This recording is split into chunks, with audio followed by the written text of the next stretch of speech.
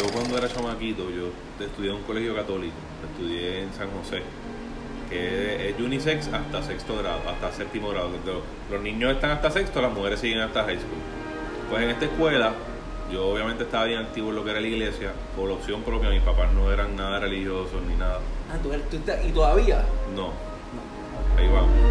Pues hermano, yo de chamaquito siempre me interesó la iglesia, la, me movían, las imágenes religiosas me movían a nivel de que me sacaban lágrimas y, y- el interés me llevó a ser eh, un altar boy, un monaguillo. Y estuve un par de años siendo monaguillo, brother. Yo me leía la Biblia, tenía mi colección de imágenes religiosas, niño, yo niño. Me encantaba, le tenía mucho respeto al sacerdote, ¿me entiende? Padre William, me acuerdo que era el director de los monaguillos. Nosotros íbamos y cogíamos unas clases aparte, teníamos el, manual del monaguillo, sabíamos todo.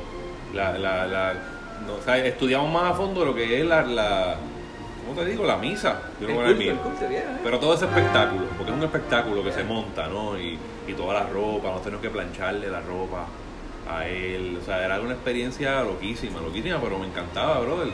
Vi mujeres endemoniadas que ellos tuvieron que tirarle agua bendita y se la llevaban para la parte de atrás donde estábamos nosotros. Y la tipa, ¡ah! ¡ah! Y él tirando el agua bendita.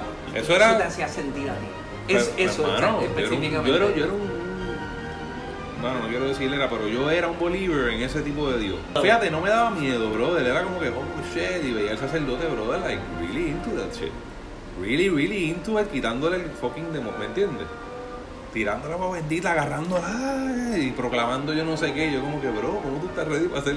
¿Tú entiendes? Esa mierda me voló la mente al nivel de que yo fui a coger dos seminarios porque yo quería ser sacerdote, o sea, yo quería ya meterme a ser seminarista, yo sentía el llamado, yo sentía que yo me comunicaba con Dios y Él me contestaba, cosas así. Tuve, tuve varios discips que yo creo que fue lo que me hizo a después a desligarme, pero anyways, este, todo cambió en mi vida cuando conocí a mi primera, a mi primera jeva, ¿entiendes?